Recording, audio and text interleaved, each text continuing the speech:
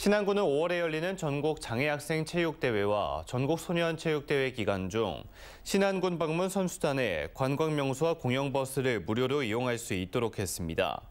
이용 기간은 오는 14일부터 31일까지며 무료 입장이 가능한 관광지는 라벤더 축제가 열리는 안좌 퍼플섬과 자음 뮤지엄 정원 등 16개 관광지 등입니다.